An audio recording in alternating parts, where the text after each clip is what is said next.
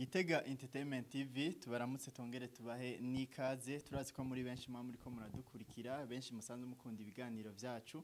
Eh, uno musi tukaba tuje muri sport birumvikana tuje muri sport. Muravuga ati mbega muje kutuganira kubiki ariko tubanze tubibutse yuko eh, wewe udukurikira ushobora kudutora kuri Facebook eh, ukadutora kuri YouTube ariko mu misi iri imbere tuzababwira n'izindi mbuga mushobora kudutora ko atakibazo na kimwe. Nkuko muri ko murabibona ngaha kuri runo rubuga rwacu turasubiye rero kubaha ikaze mutima tuzaniye ibiki hari higanwa riko riraba hano iwacu na cyane cyane mu ntara yacu ya Gitega eh, muri komine Gitega. Ni higanwa rihuza imitumba canke amakartier ririko riraba turakeneye kumenya intumbero. Eh, iryo higanwa riko rirabamwo canke mbega iryo higanwa ryoba rigeze hehe? Ivyo vyose turakeneye no kubimenya. Nawe uriko uradukurikira mm, kugira twumve mbega nawe n'uruhe ruhara rwawe niki wokora? Nico gituma uno musi dufise umutumire ngaha muri studio. Eh, za Gitega Entertainment TV umutumire ndazi afise vyinshi atubwira reka tubanze tumwakire karibu cyane Ego murakoze.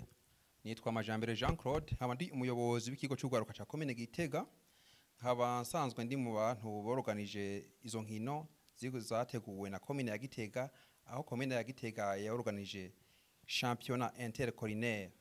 Ziri muri Komine Gitega iyo championnat ikaba yahuje imitumba n'amakartier bisanzwe bigize Komine ya Gitega uko ari imitumba n'amakartier bingana na 39 Mm.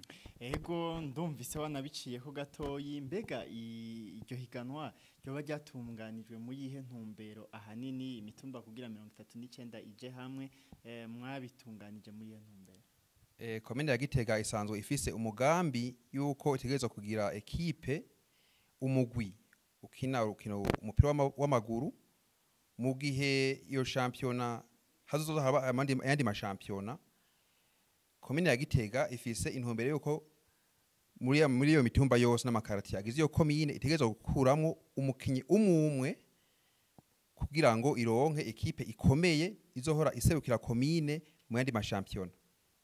Mu yindi birumvikana yuko kumbure muri komine Gitega muriko muritunganya muheriye mu mitumba kugira bikunde imigwi yose nako umugwi uzoserukira ikomine eh, ya Gitega uzoba ukomeye cyane ushobore guhiganwa n'ayandi makomine.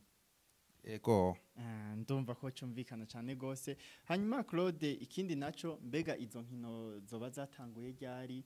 Zigeze novuga mu gice ikihe? Eh, nk'uko bisanzwe inkino zateguwe na komine ya Gitega zatanguye itariki cumi n'icyenda z'ukwa mbere aho hatanguye kuba icyo yitwa phase eliminatoire ziraba ziraja muri demi finale ku rwego rwa zone barakina finale ubu rero tugeze kuri demi finale ku rwego rwa komine aho mbere izo nkino ku rwego rwa komine za demi finale zotangura itariki mirongo itatu z'ukwa kane uwu mwaka hakaba na finale itariki imwe y'ukwezi kwa gatanu uyu mwaka kuri stade ingoma. Mm, ku kirangamisi nivyo nk'uko yejeje kubivuga twabibonye yuko izi nkino ah, zizoba ku igenekerezo rya mirongo itatu finale ari igenekerezo rya mbere eh, kuri stade ingoma.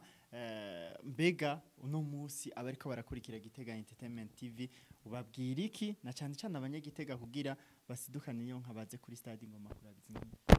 Eh cyo norarikira abene gihugu bane sanzwe bari ngaha muri komine ya Gitega nuko izo nkino zibereye ijisho. Ahanini boza bagashigikira ugwaruka rwabo tukongera tukararikira no gwaruka kuzoza ari gwishi cyane kuko ni nkino zizoba zibereye ijisho. Aho kuva ku mitumba n'amakartier habayemo ugukurakuranwamo dukaronka imigwi iza gukina urwego rwa komine.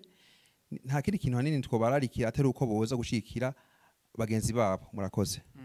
Mm. urakoze cyane Claude mwari mufise akanya gatoyi muca muca kuturaba muri studio ndetse muratubwiye ibitari bikeyi eh, tubashimire cyane kuri kano kanya muduhaye namwe turabashimiye. Mm, bakunzi ba Gitega Entertainment TV namwe tubashimire cyane kuba mwadukurikiye.